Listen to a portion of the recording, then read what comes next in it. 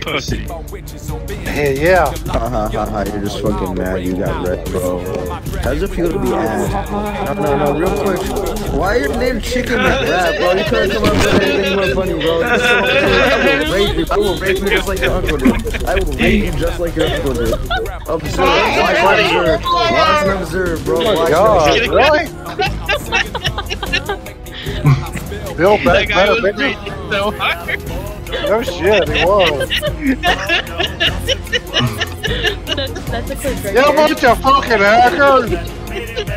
I hate, I hate you all!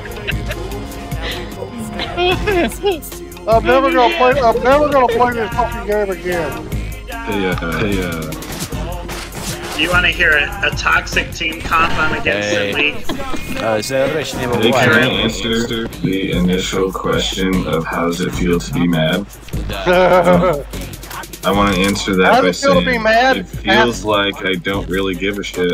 So if you define being mad as me not caring, then I guess I'm mad. Why are you mad? Why are you mad? He ain't nothing but a bitch. Bill Beck better It's bitch. just a game. I just think you need to study how the emotions work and how to identify things. motherfucker. Emotional Bruh. Bruh, it's just a game, bro.